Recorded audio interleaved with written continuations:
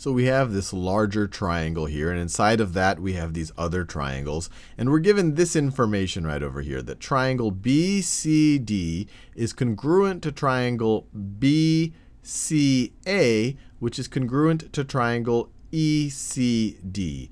And given just this information, what I want to do in this drawing, I want to figure out what every angle on this drawing is. What's the measure of every angle? So let's see what we can do here.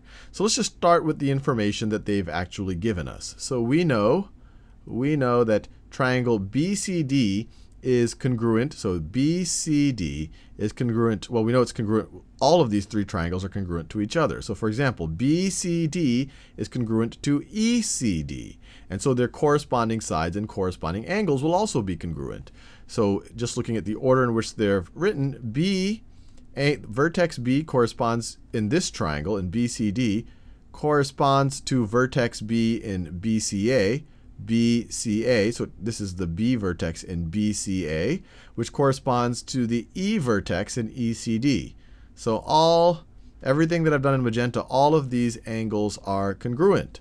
And then we also know, we also know that the C angle, so in BCA, uh, sorry, BCD, this angle, this angle right over here, is congruent to the C angle in BCA, BCA, the C angle is right over here, or C is the vertex for that angle in BCA.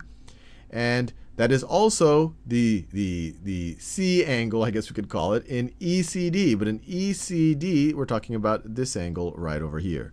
So these three angles are going to be congruent. And I think you could already guess a way to come up with the values of those three angles. But let's just let's keep looking at everything else that they're telling us. Finally, we have vertex D over here. So angle so angle, so this is the last one in where we listed B. So in triangle BCD, this angle, this angle right over here, corresponds to the A vertex angle in BCA. So BCA, that's going to correspond to this angle right over here. It's really the only one that we haven't labeled yet. And that corresponds to this angle, this vertex right over here, that angle right over there. And just to make it consistent, this C should also be circled in yellow. And so we have all these congruencies, and now we can come up with some interesting things about them.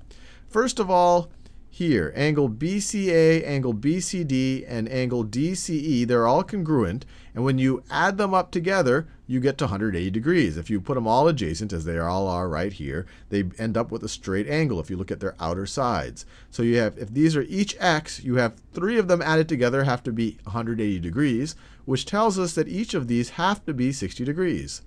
That's the only way you have three of the same thing adding up to 180 degrees. Fair enough. What else can we do?